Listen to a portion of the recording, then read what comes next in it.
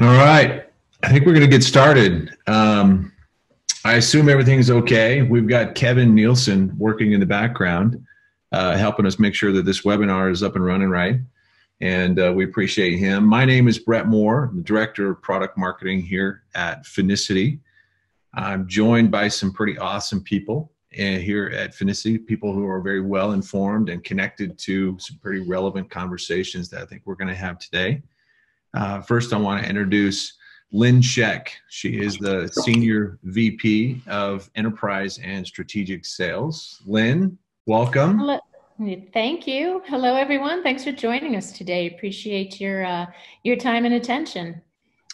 Uh, we also have with us Lisa Kimball, our Senior VP of Product and Strategic Programs here at Finicity, too, as well. Lisa, welcome. Thank you. Hi, everybody. Excited to be here. Yeah, it probably won't be the first time, the last time that I get the L's mixed up here just because of my brain. So Lisa, Lynn, but we're ha- happy to have you both here. And um, and as everyone who is joining us knows, uh, we're all participating in uh, being good global citizens, and uh, we're all broadcasting from our own unique uh, places. most of them, I assume, are home. Uh, as you can see for me, a little bit of home behind me. Um, I even have some yellow shoes that to join me from Finicity as well. Um, I'm, I'm pretty lonely around here, but uh, so I do have some shoes to join me. And if you aren't aware, we will be giving out some uh, shoes, and uh, I, I, believe four. We have four different sort of talk segments that we want to chat about, and I think at the end of each segment we will be uh, announcing um, winners of some pretty awesome shoes. So uh, as as you know, and um, they and and that's and it's the only qualification is is that you are participating, that that you're here. So you don't have to wait all the way to the end. So, um, but uh, it has been an eventful few weeks, if not a couple of months. I think for a lot of people, not just because of the social ramifications of uh, a lot of interesting things happening. But even just prior to that, the the markets uh, and how they have adapted to um, uh, the rates, uh, mortgage rates, and uh, and whatnot. So. Uh, we are happy to have this particular webinar to in place of of MBA Tech, which most of us were not able to, or no one is able to attend, but uh, most of us having to come up with some unique uh, scenarios um, here uh, to accommodate. But uh, you know, I think this is a great alternative. So let's get talking about uh, mortgage and rates, digital transformation, and where what's going on in the marketplace today. So. Um, so the first thing I wanted to do was to, you know, let's start by going in over what's happened over the last few weeks. Um, refinances have been up 400% or more uh, year over year and 55% from the last week of February, which is uh, really interesting. I, I'm curious, Lisa, uh, let's start there. I mean, what has this meant for lenders? Yeah, I mean, uh, it's been really an unbelievable ride. Uh, I think, uh, as most of us would agree. So um, we saw low rates, which meant uh, the mortgage volume, as you just mentioned, went um, went screaming through the roof. And right on the heels of that, uh, most of us have moved all of our teams to working from home. And uh, at the same time, now we're starting to keep an eye toward what are the economic changes that are upcoming um, and uh, you know how do we serve consumers in this changing market? So each one of those on their own is very challenging to respond to. And so to have all of it going on at the same time is makes for very interesting times. Um, what it really makes me think about is that during times like this where there's a lot of volatility meaning um, you know wild changes in volumes and approach. It's even more important to have processes that are able to scale um, and essentially can be done anywhere. Um, so uh, lenders right now who've already invested in adopting processes that are flexible scalable um, they're going to be at a substantial advantage right now Um, we're seeing um, rates changing quickly, um, so closing loans as fast as possible, keeping those leads um, hot all the way through the closing of the loan uh, is really important. So I think uh, while it's a challenging time, I also think it's an opportunity for lenders who are able to be flexible and to respond to the challenges here to have a substantial advantage. Yeah. Lynn, any thoughts on that? Um, in terms of the challenge of the last few weeks, I'll, t- I'll take the, um, I don't know, madness, a lot more gray hair. I hear all the men are growing beards. oh, really? Yeah. I'll take the I'll take the light answer because I think Lisa answered it really well. Yeah, there's a lot of changes, a lot, a lot of things uh, to, to, to, to really deal with, and and I think this speaks to a lot of the flexibility that that lenders are really having to rethink if they if they haven't already put some of those processes in place. But um, you know, and we've been talking about trying to go digital for years now. This isn't a new a new concept, um, but over the last few weeks, I think we've really you can see some of this starting to pay off for some of those lenders who either are trying to go down this digital uh, route and they're trying to do digital, or there are even some who are a little bit further down the road where they have actually become digital. And I think you're seeing that pay off in varying uh, ways. And know, I want to ask you, Lynn, what are what are people doing right now to accommodate for some of these changes? Yeah, I, th- I think what's interesting, you're exactly right. The um, doing versus kind of being more digital is certainly something we've talked about in the past. You know, right now the lenders have to um, reduce their contact with their customers, somehow still service them well. And, and we can see that for, for the lenders that we work with that are highly digital, they have certainly um, done gangbusters in terms of volume. So from where we sit, we see kind of the front end of the funnel, and, and we can see that our most digital lenders have done uh, increases in volume that were bigger than what we're seeing the market average being. So I think it's been a real advantage, um, you know, being able to flex um, using your digital capabilities is certainly um, a, a, true um, leg up for the lenders that were prepared for that.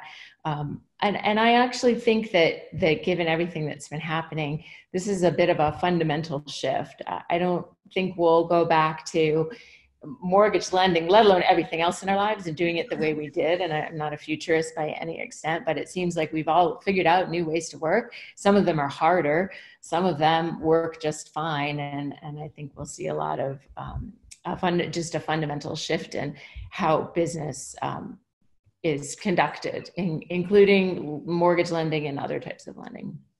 Um, and it, it would, and for either one of you, I mean, what, what, how are these lenders handling these high volumes, and what is it that it's making the difference for them? I can I can jump in there, and uh, Lisa can comment as well. But I think that um, the digital um, the digital opportunity gives the lender uh, the ability to actually flex. There's still people processes in, engaged in much of the mortgage lending experience for lenders, and that there's um, certainly some some bottlenecks there with the kind of volumes that we've seen. Um, but if you are really dependent on the people processes, you could not have capacity planned around something like the last few weeks. Um, you might have thought you were ready for, you know, spring home buying season, being very busy, but you could not have accommodated um, on a human capacity standpoint um, to the level that we've seen in terms of the spike. Lisa, anything you'd add there? Yeah, I think Lynn, um, you're absolutely right there. And um, in addition to um, challenges around ramping up capacity sufficiently to handle the volumes that we've seen, you know, right on the tail of that, um, organizations had to shift um, and essentially send the workfo- the workforce um, home. And so, having your capacity be really tied up in those manual processes is very challenging. Um, whereas if you're using some digital verification, that transition to work from home has been easier. Yeah. Well, and I think this leads us into really a conversation that is central to digital mortgage, and that's really the, the customer or, or the consumer, the borrower, this consumer experience and what that is. But before I jump in there, I'm going to away a first pair of shoes, and uh, I'm going to ask Kevin it, if uh, if he has a name for me. I, I haven't seen one yet, but I wanted to make sure we get someone some really cool swag. sporting some swag here. I still, but uh, do people still wear shoes? yeah, being my slippers are getting a little worn out.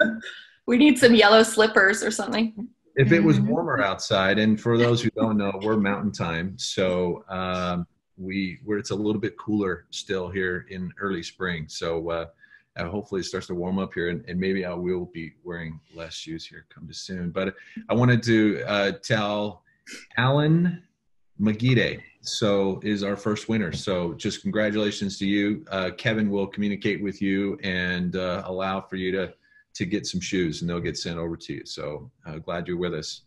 Um, when we talk about this consumer experience, you know, the uh, this consumer experience is, uh, you know, the consumers have always been driving innovation. They've been the ones pushing for and, in creating demand. And so, you know, when we f- finding the right lender when rates are low matters a lot. But I really want to ask the two of you how easily do borrowers move through the origination process when there are high volumes, which is a unique situation that we've been having lately? I love the question just because the term um, kind of right lender I think is really a mix of um, the digital tools I want to make the process uh, easy and um, efficient um, and uh, readily comprehensible, and uh, the human I want when I don't understand it. Um, it's a big transaction. I don't do this often as a borrower. Um, and so I think the um, lenders that are really succeeding at digital have found this mix of how can they use digital digital and what tools they can they make available and then how can they um, have a human intervene when needed to make the borrower comfortable and you're going to have some things that maybe have to fall in one bucket or the other but again to be successful if you're mixing the two of those and it is flexible to to be more digital for those that want it and more human based for those that want it I think it gives a real opportunity for the lender to meet the borrower wherever they are. Um, they are demanding new processes and um, they're using lenders that provide those new processes. I mean, we've seen at least, um, I've seen, and, and just working with um, partners and prospects, um, at least one lender saying, you don't need to see us to work your mortgage from end to end. We can handle your business from beginning to end and you don't need to think about coming in anywhere. And at this time right giving that flexibility and giving that level of comfort i think is tremendous yeah, yeah and lynn i think when you um, consider the consumer experience with a lender who um, can make that statement um, and has experience doing that um, versus lenders who are working to retrofit um, some of the parts of the process so that it can be contactless. Um, it's just a really different experience for a consumer, and I think we'll continue to see consumers move toward lenders who are able to be automated and contactless, essentially. You know, I think this might be a good time for us to maybe talk about the i mean we talk about how the consumers drive the experience. I mean they're ultimately creating the demand. They are digital. Some are highly digital natives um, but they continue to push this and create uh, demand for digital processes and lenders who are um, lenders who are doing this, migrating in this direction, or those who already have are have are really capturing uh, an opportunity to either meet or exceed the expectations of consumers and these uh, digital borrowers.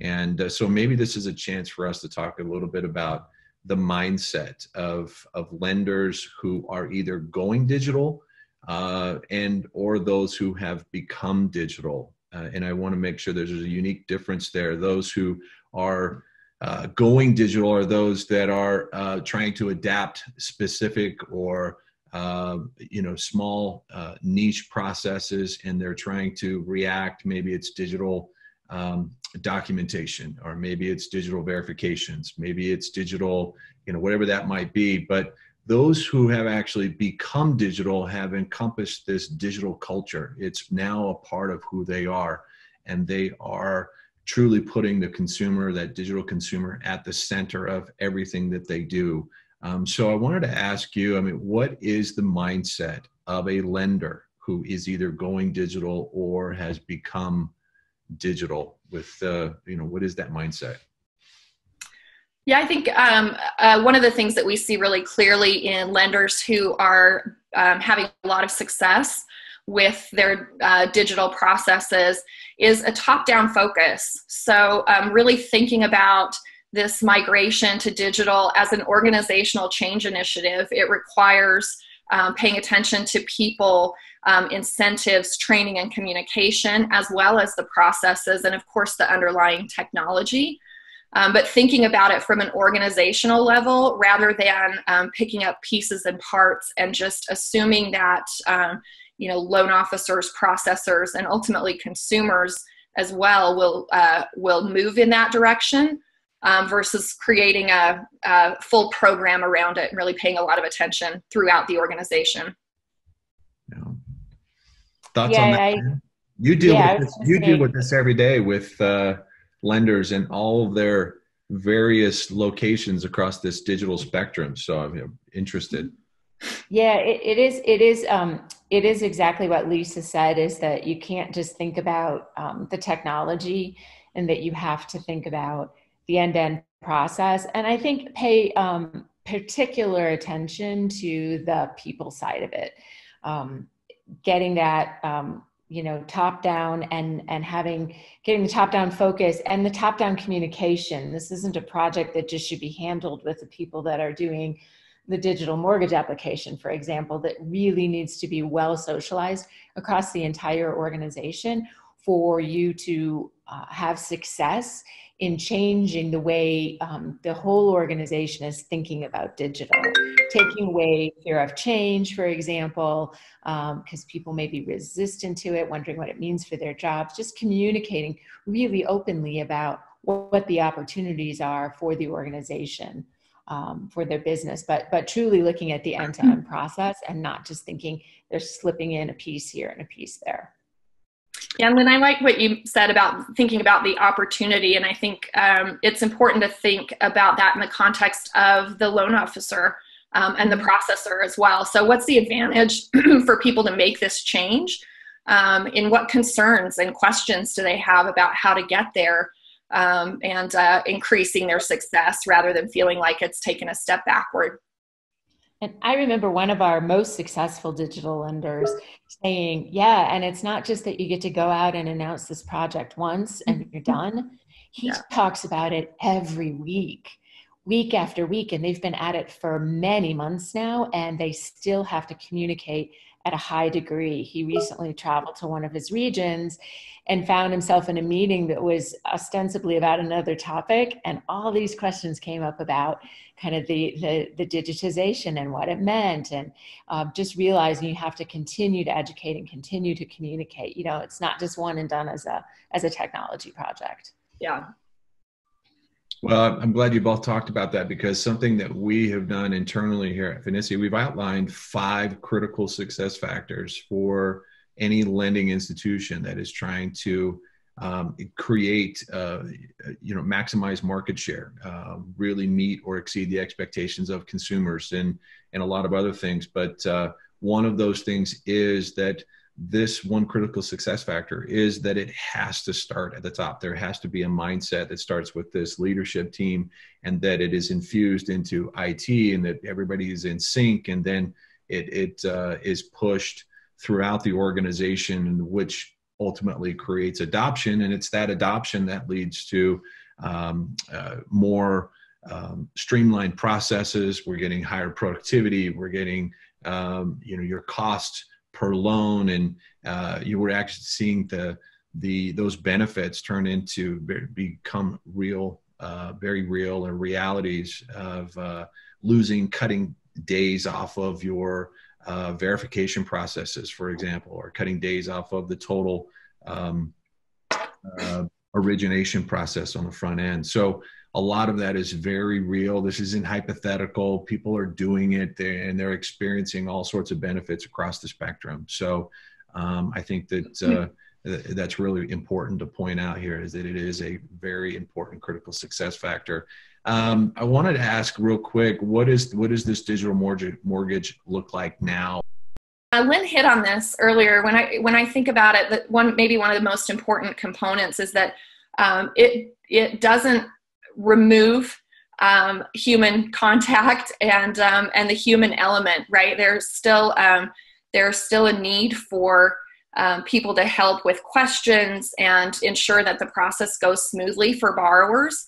Um, so when we talk about digital mortgage, um, it's not a full replacement of any humans in the process. It's just augmenting some of the portions so that uh, the people who are engaged are able to spend their time doing education with borrowers, um, helping them to assess what the best approach is for their particular case, um, and just stripping out some of the the uh, repetitive functions that can take a long time.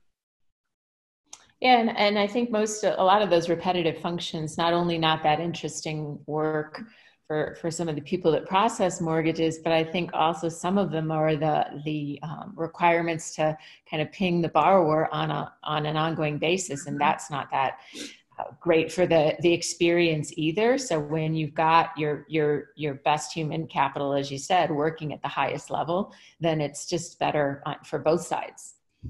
Yeah, yeah, I think um, uh, the other thing that comes to mind um, is really the impact for the consumer. So just making a process that's a lot easier. Um, I like to think about, uh, you know, being maybe uh, initiating your loan and then taking a week on vacation. And so um, if you could do your digital verification from your beach chair um, and keep things moving, that's certainly a great advantage for consumers versus having to wait until they get back or you know um, otherwise try to put their hands on um, paper documentation or something along those lines. So just making it really um, uh, easy so the consumer can do it anytime anywhere and it doesn't take a huge amount of effort from them is, is another really critical element. And i think that will continue to um, to improve as uh, as digitization becomes more widely adopted. Can anybody say work from home please. so uh, that was a literally my internet just went gone. So my apologies, and um, I think we're on to uh, just chatting here about digital verification, if I'm right. So um, my apologies for dropping out. but clearly, clearly not too much of a hiccup here. Did we get a chance to announce person who won some shoes? No, we just left that for you. Oh man, thank you so much.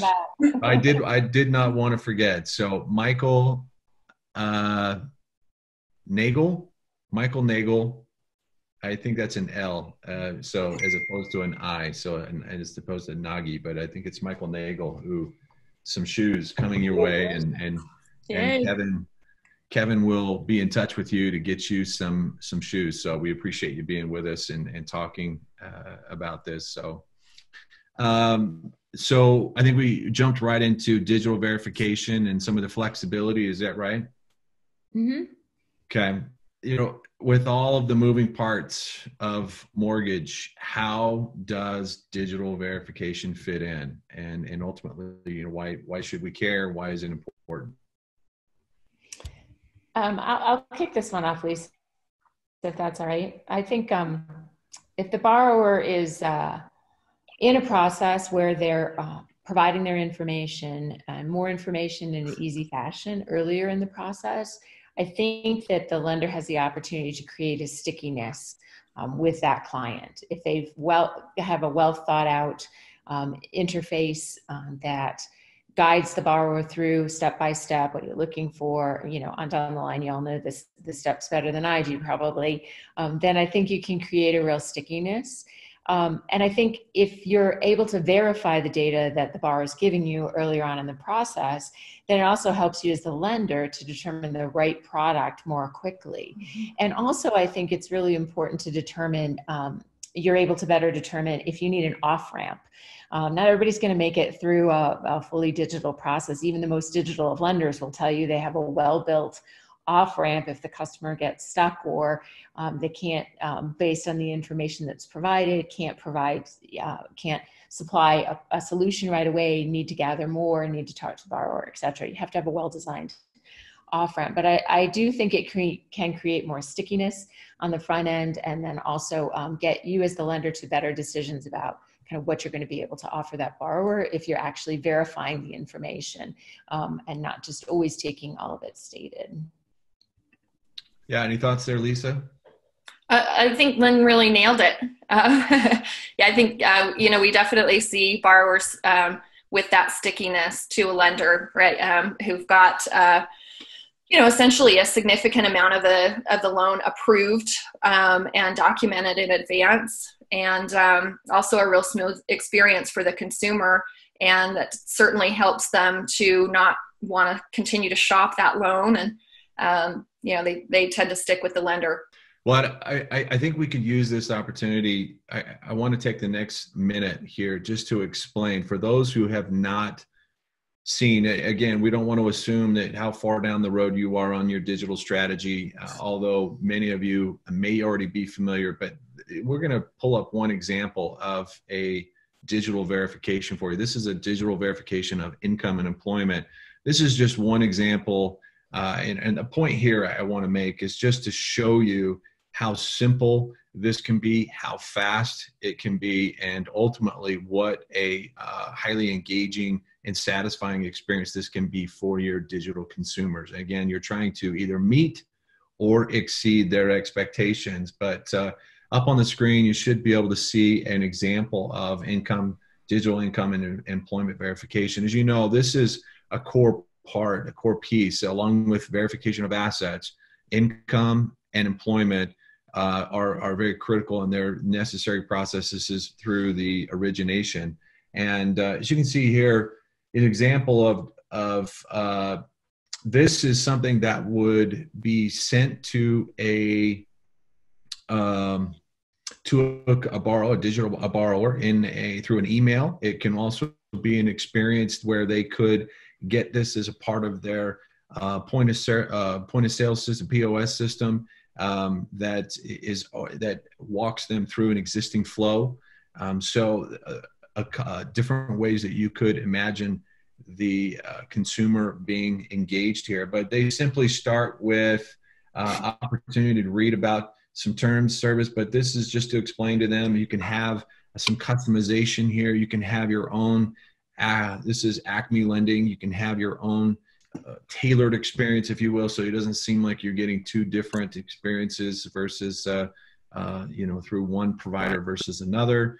Uh, so there are some some of those tailor uh, opportunities here. But they get started. They click on uh, get started here. They're going to go and they are going to upload a pay stub. So they're going to browse for that particular image on their computer in this case, that's how what we're doing here. But this can also be done by just simply taking a camera and a mobile device and taking a snapshot, and uh, the that digital uh, image is uploaded as well. In this case, we're going to search for it. We find it on my computer. I uh, which the pay stub that I downloaded from my provider, and uh, I submit that pay stub.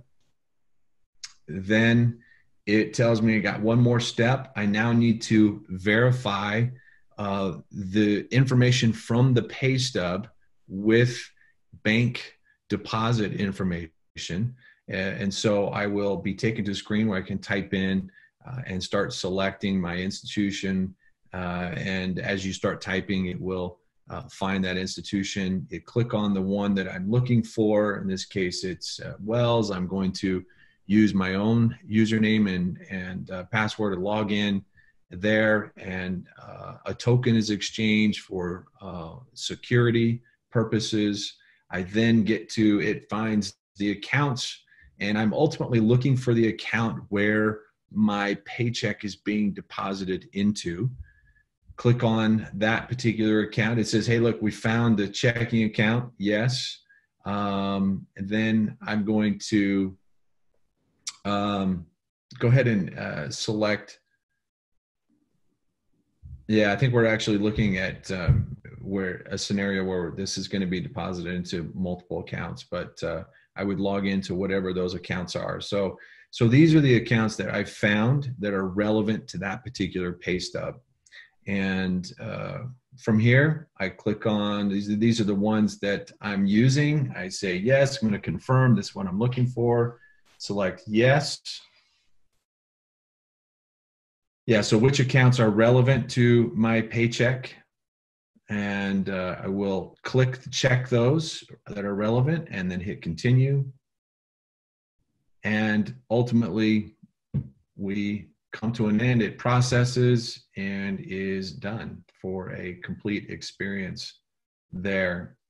Um, so you can see my point here is is that this digital verification very quick, very easy. This is something uh, a consumer can do uh, and take two minutes, three minutes uh, uh of spare time on a lunch hour in the evenings, you know, on the go. Um, we are just trying to make every effort to meet and exceed expectations there for the consumer by being where they are. And um, so, a very fluid experience. Any thoughts from that, Lisa? Uh, excuse me, Lisa and Lynn, on just ultimately how this becomes a win-win for both the lenders as well as the digital consumers, digital borrowers. Yeah, I think one of the most powerful things um, to keep in mind there is that um, so the borrowers upload, uploaded uh, a pay stub at their loan application time. And once we've matched that to the income stream from the transactions, um, then if their loan, you know, let's say they're just early stage shopping, right, happens. Um, and so it's a little bit delayed um, when they are actually um, starting to um, finish the loan mm-hmm. process. And instead of re-engaging the borrower, getting additional documents, um, as a lender, you could just refresh the report. Um, we've already attached the pay stub to the transaction flow, um, and you can re-verify without needing the borrower to go back, dig in again, and find an, an additional set of documents. So just really creating a lot of convenience um, and speed um, associated with having the verification be there digitally.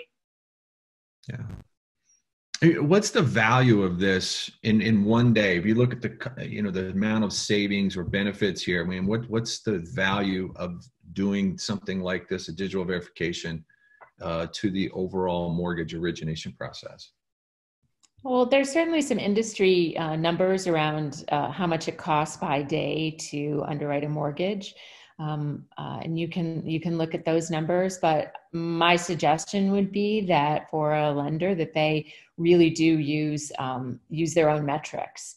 You know what kind of time has been saved? What what impact has this had on your pull through rate of loans what is your borrower satisfaction um, with respect to that um, and the more detailed metrics that you have about your process today, and then as if you're moving to digitize piece of it, uh, pieces of it, then you can compare to tomorrow. The more detailed metrics you have, if you can get them all the way down to the loan officer level, to the processor level, underwriter level, then I think you um, you can better make that uh, assessment of of what it means. I mean, despite the dollar savings and the time savings, you know, it there there's certainly cost across all of that and and fewer competitors that are getting into that customer, less time for that that consumer to shop around and think they're going to go find something else better while they're waiting on you.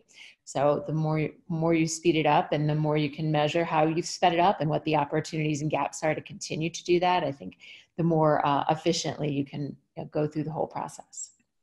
Terrific. I want to, before we jump into the next section, I want to offer up another pair of shoes here to, um, it is Allie McCanny. Allie McCanny, Kevin will be in touch with you. Congratulations. Thanks for being with us and uh, chatting with us. I want to jump into the next uh, topic here. There's been a recent FHFA notice about employment verification and, uh, and how that's being handled by a bank statement with a payroll deposit or a recent year to date pay stub. So, some interesting things, uh, response coming out from FHA, FHFA. But uh, what does that mean for everyone right now? Lynn, your thoughts? Um, I think from the Finicity perspective, we have long thought that, um, as you demonstrated the verification of income and employment solution, that being able to identify the income stream in the transaction uh, data and then being able to go in and refresh that and see that, yes, indeed, I did get paid last Friday as expected in the same amount as usual. Um, and to be able to do that right before close made a ton of sense um, it seems like you, you, want that extra validation on the front end but but really seeing if the money's coming in or not is is kind of the most uh, most critical piece of it. Um, so i think that that um, it, it, it opens up some opportunities. Um, do we do we have those fully assessed? No and i'll let lisa comment on that but um, i think it can really open up some opportunities um, to be able to really start using the data that's available and that is being you know able to be pulled immediately right? This is instant. This is exactly what was posted yesterday or on friday that you can see my pay stub. So it is as real time as as it can possibly be. Yeah, um, I think uh, one of the interesting things that's come out of all these challenges, we're hearing anecdotally from lenders that um, you know the uh, process of making a phone call to an employer um, has been particularly difficult right now as um, companies again shift to working from home. So maybe the office line um, to the hr person isn't where you'll find them right now. And also so many organizations are focused on their disaster recovery and business continuity plans um, and uh, may not be able to turn around these kind of um, verification uh, as quickly as they did a few weeks ago. So um, we're working very closely with um, with Fannie Mae and Freddie Mac to really understand what's at the heart of that FHFA notice and um, uh, understand how we can support the um, uh, improvement of that process so that it's not a stumbling block to uh, getting loans closed. Um, I think it is uh, interesting and kind of exciting. As Lynn mentioned, we've we've um, uh, felt like this is the direction uh, that that the industry is going for quite some time, and there's a, just an extra push right now because the current processes are becoming really challenging given uh, everything that's going on. Yep. Well, I think there's a lot of change for for everybody, you know, happening right now. I mean, the, the response from FHFA is just one example, but you know even within lenders and borrowers um, you know being able to do a simple income and employment process uh, you know done digitally i think is is going to have a lot, of um, it just it just changes our approach to origination and changes our engagement uh, experience with the consumers. And so i want to be sensitive with time. And so with that i want to offer up another pair of shoes here to is that's a good question. Kevin, do you have one for me? Mm-hmm. Uh, Shantanu Sharma is our next winner. So Shantanu Sharma, appreciate you being with us, and Kevin will be in touch with you for so for some shoes, and uh, so you will uh, receive those uh, really soon and uh, and I assume you're going to be home when you receive them. uh, nobody, you'll be able to get those. You won't be like the Amazon, you know, conspiracy. You know, people dropping stuff off and stealing it off your shelf, uh, off your. They'll uh, stay really clean for a while because people aren't wearing them just indoors. Yeah, yeah for sure. So I want to get to our last section here. So ultimately, what should lenders be doing? This is a important and everybody's on a different place on this spectrum of digital transformation and trying to respond or get ahead of of the expectations for digital consumers. So uh, you know with all this background where should lenders be headed? Lynn lisa? Yeah i think my first comment would be um, uh, to to try to move with urgency. Like right now i understand you're completely swamped right? But to try to really begin to get your arms around it. And and while we've differentiated between doing a little bit of digital and actually being digital the point is you got to tip your toe in the water someplace and there's easy ways to do that. Um, we are definitely in this era of an empowered consumer. They have really high experience expectations and they're going to choose companies that um, provide that level of um, uh, experience that they're looking for. So figure out a way to start someplace. And um, I talked about kind of revamping your process end to end. And that can be a really big project, but you can also bite it off in smaller chunks. And, and again, as I said, to dip your toe into the water um, so that you can at least get started. Yeah. And who should be championing this at the organization? Where where should this? Who's going to own this? I think um, you know, as we uh, probably touched on a little bit, it really needs to be um, the the broad leadership team, um, the top of the house in the organization, and you really should think about it as a strategic initiative um, with some clear goals uh, defined, but um, much broader than oh, you know, there's just a piece of technology to get inserted here. Um, so it does take a real broad set of leadership and championing.